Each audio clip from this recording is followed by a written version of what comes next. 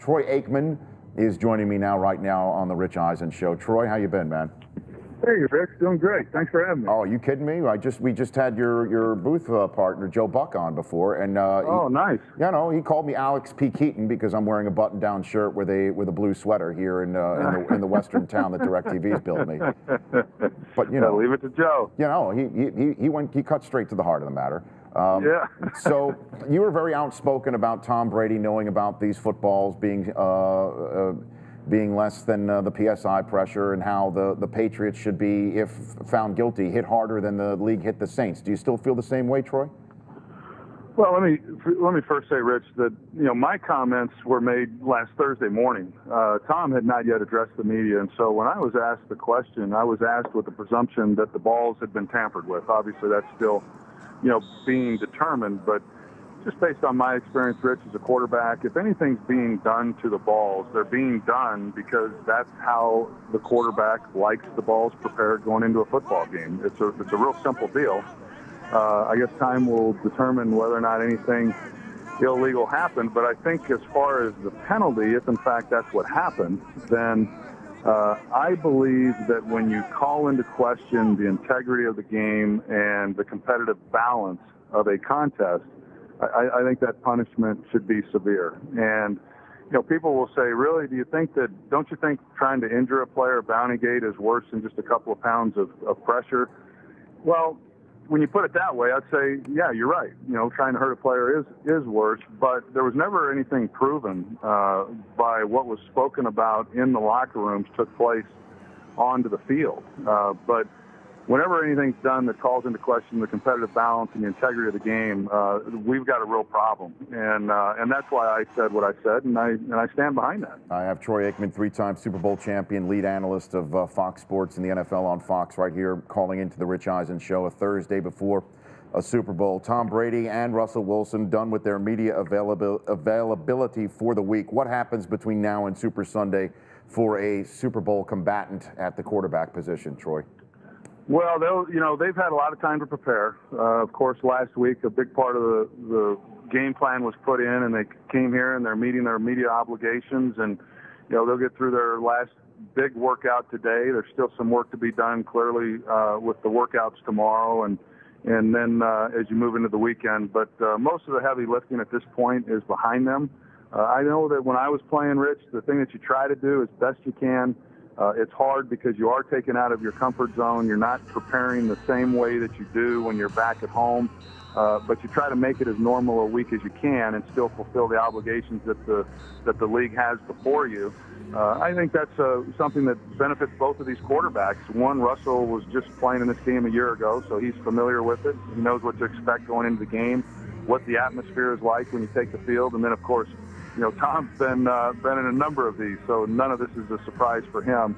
Uh, and I expect them both to come out and uh, play at the level that we've seen of them all year. Well, Tom is uh, one of the few guys who uh, in the world who have as many Super Bowl rings as you, Troy, and he's trying to get as many Super Bowl rings as one of our guests that we had here earlier in Joe Montana, and the only other quarterback with four rings we have on tomorrow's show, and Terry Bradshaw.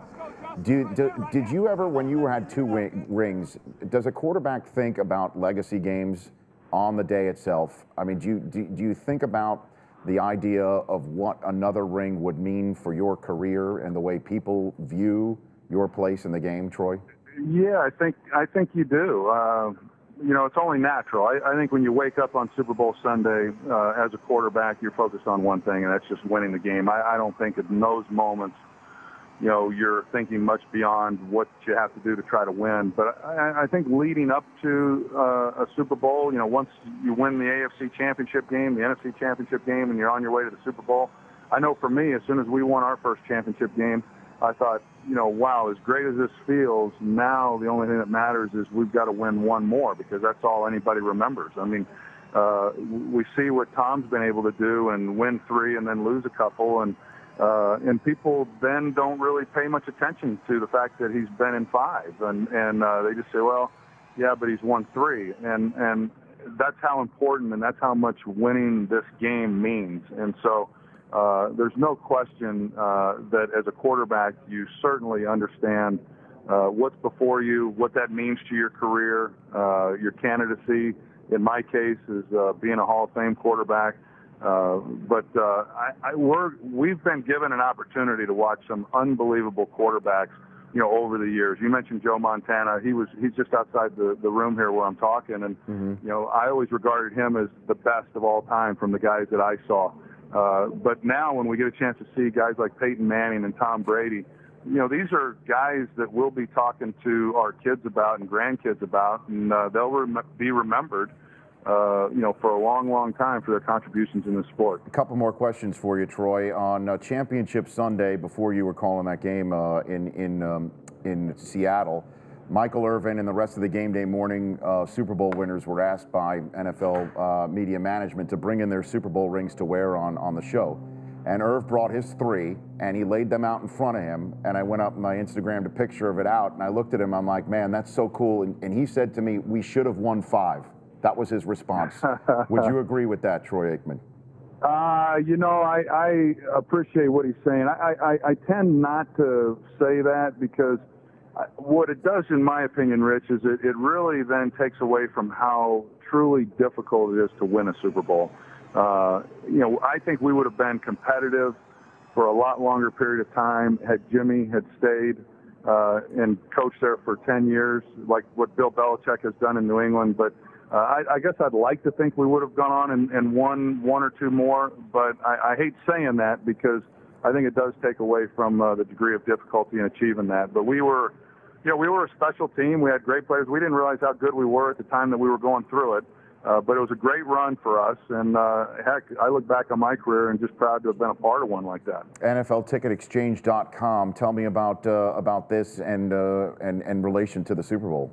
What's going on? Yeah, well, I mean, as we know, there's a lot of people trying to get into the Super Bowl game. There's a lot of fraudulent tickets out there, and uh, the only way to be guaranteed that you're getting an authentic Super Bowl ticket is through Ticketmaster, who's partnered, you know, with the NFL. And uh, we've heard the stories, and I've met some of the people who have gone out and paid a lot of hard-earned money for a Super Bowl ticket, only to find out that it was not an authentic ticket, and the money was gone. So uh, just getting word out there that if you are going to buy on the secondary market, uh, go to the one where you're guaranteed an authentic ticket. Uh, their Ticket Exchange and Ticketmaster. And in the minute I have left with you, Troy, what happens Sunday in your belief? You've you've seen these teams, you know these teams. What happens when uh, when toe meets ball across the street from here?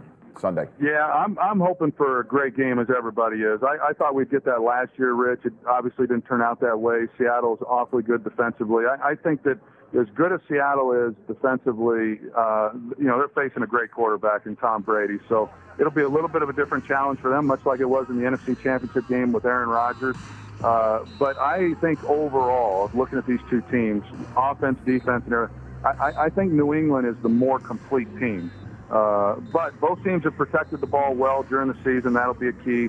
Uh, heck, I just hope it comes down to the wire like so many of these games have. Troy, thanks for calling in. I really appreciate it. Hey, you bet, Rich. Thanks for having me, man. Anytime. That's Troy Aikman, three-time Super Bowl winner, NFL on Fox lead analyst. The Rich Eisen Show, weekdays at noon Eastern. On Audience.